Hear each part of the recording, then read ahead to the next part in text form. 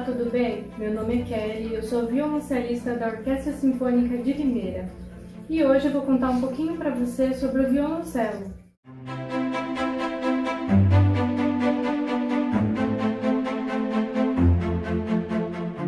Bom, o violoncelo, ou cello, uma forma abreviada e derivada do italiano, teve origem no esplendor musical do século XVI na Itália, em um processo evolutivo da família das cordas.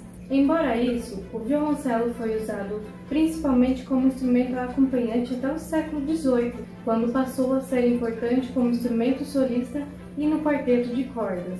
O nome violoncelo parece ter se firmado por volta de 1680, a partir do termo violoncino, um diminuto de violone, como era conhecido o antecessor do cello ainda no século XVII. Dentre todos os instrumentos da orquestra, o violoncelo é o que mais se compara com a voz humana, cobrindo desde baixo até o contralto, em uma extensão de quase quatro oitavas. Situa-se na família das cordas entre o contrabaixo e a viola.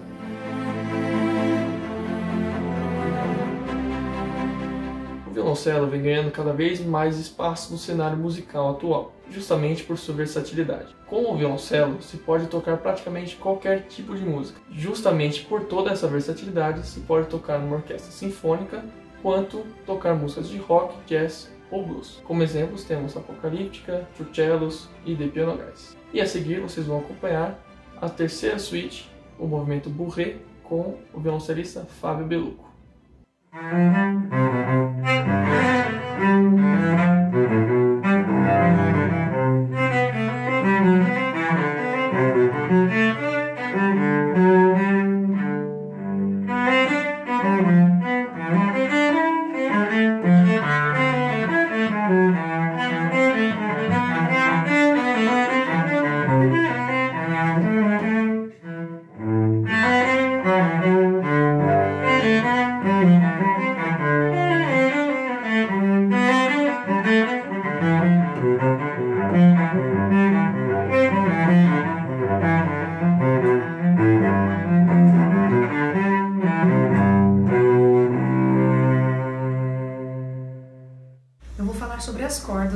Violoncelo.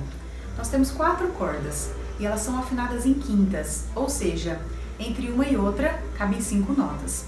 A primeira corda é a corda Lá, a mais aguda. Do Lá para a próxima, então, Lá, Sol, Fá, Mi, Ré. Ré, Do, Si, Lá, Sol. Sol, Fá, Mi, Ré, Dó.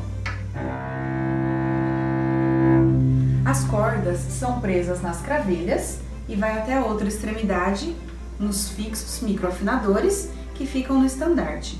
Quando nós precisamos afinar distâncias grandes, quando está muito desafinado, a gente usa as cravelhas e quando são detalhes, nós usamos os microafinadores ou fixos. No século XVI, século em que nasceu o violoncelo, o arco tinha sua curvatura para cima, como no arco de arco e flecha. E a pedido do violinista Giovanni Battista Viotti, em 1782, o arco modificou, conhecido hoje como arco moderno. Ao invés do formato côncavo, passou a ter uma curvatura convexa, que permite suportar mais a tensão da crina. As sedas do arco, na verdade, são a crina do cavalo, que passa por um tratamento e são postas no talão, reguladas por um parafuso onde nós podemos, através dele, afrouxá-las ou apertá-las. E neste ajuste, nós podemos tocar mantendo a curvatura do arco. Mas não basta apenas do arco, nós precisamos do breu, que é uma resina sólida extraída da secreção das plantas. Ao passar o arco no breu, nós permitimos com que as crinas tenham maior aderência nas cordas e assim produzindo um belo som. Sem breu, sem som. Vou falar um pouco para vocês das partes do violoncelo. O violoncelo é um instrumento maravilhoso aqui, composto pela caixa, né, com o tampo frontal, o tampo traseiro, esse tampo todo bonito, trabalhado. A gente tem a voluta que é tem todo esse, esse trabalhado também, onde a gente prende as cravelhas, tá? Tem o braço do violoncelo, a gente tem aqui o cavalete, estandarte, que é preso aqui no espigão, né? É, uma curiosidade bem legal é que esse espigão, né? O meu é um espigão de fibra de carbono, ele é um espigão leve, né? Para que, que serve o espigão? Antigamente o espigão não existia, né? O violoncelo era preso entre as pernas do instrumentista, né? Mas com o passar dos anos, para que foi criado esse apoio, né? E, e, o espigão ele pode ser tanto de aço, eu tenho aqui, ó, um espigão aqui de ferro, um espigão bem pesado, né? É, quanto menos partes de aço a gente tiver no instrumento, melhor, tá? Menos vibração ele vai absorver.